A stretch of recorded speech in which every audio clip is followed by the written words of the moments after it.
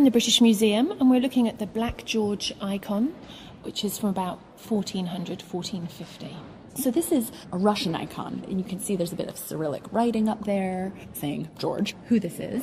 And there are lots of images of St. George around. Anytime you see images of a knight on horseback stabbing a dragon, usually with a big long spear, sometimes he's saving a princess, that's St. George. But there's no princess here. No, it's a more of a distilled version. So Often that- we're used to seeing him though in knights, metal armour. And Yeah, he doesn't look like a knight here. He looks like he's just kind of wearing a nice little tunic and a, a very flowy red cape and some nice Yeah, bright red there's tights. nothing particularly that's going to protect him. But what we do see, because of that very neatly composed billowy red cape, is his halo. There are little bits of gold left on the circle around his head. And that's how we know that he's not just any old man riding through the countryside killing a dragon, like you do. He's St. George. And that's the fact that they've put the, the cape flowing up like that. That's definitely a purposeful compositional point that they want to highlight the halo, don't they? And they draw our attention to it. That cape drags your eye up to the halo and then across to the name.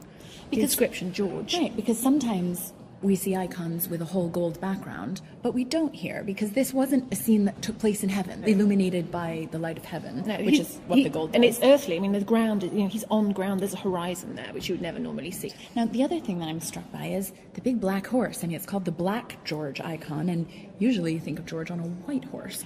And that's interesting because, again, this is a Byzantine icon, and the white horse is often associated with Crusader art, so it's often with Western ideas of St. George. And don't forget that the Crusades came through, they stayed in Constantinople for a bit, and they said, Oh, we're going to go on and fight in the Holy Land. But they were very jealous of everything Constantinople had, and while they were there, were like, While we're here, we're just going to sack and take everything and take over here. And they ruled there for 50 years. So if the West associates St. George with a white horse and Crusader triumphant sort of attitude, the Byzantine world obviously doesn't see that in that same way. It's very unusual, though. There are a few more in existence, but they are very, very rare. Your eye is kind of drawn down. There's this long, thin, diagonal red line of George's spear. It doesn't really look very strong. It's not No, it really. doesn't. it's not. It's It's not not kind like of thin laser. Modern St. George, perhaps, killing the dragon with a hmm. laser. But there is that dragon. I mean, it kind of looks like a big snake all coiled up down at the Yeah, and it's definitely coiled up in itself. It Looks like it's kind of knotted round its tail, Yeah. almost going to eat its own tail there, struggling. But the moment of death hasn't happened yet, has it? He's frozen in that moment of just about to impale him, just about to succeed. And it's interesting because often in Western art,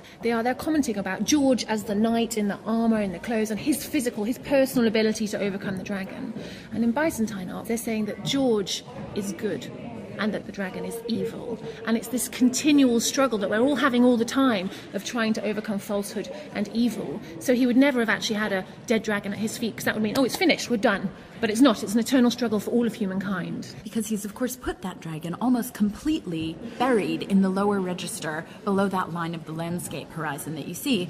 And George and the horse, with the exception of a couple of feet, is totally above in the realm of the sky, emphasizing the Upper realm, the upper register, and the earthly temporality of the dragon on the bottom. Exactly. And the horse is extremely elegant, isn't it? Those lines and the legs that are splayed out in such a beautiful way. And it really fills the icon. It draws you completely from left to right. And this icon actually has a very interesting story because it was found being used as a shutter on a barn in a village in northern Russia. And it was actually a different painting at the time. It had some 18th century painting on top. And they took that off and then they discovered a 17th century painting underneath. And they cleaned it again and they were like, whoa, whoa look, we've got this 1400 uh, St. George. And so we're really, really lucky to have this here to marvel over today, the continual struggle that George is doing and that we're doing.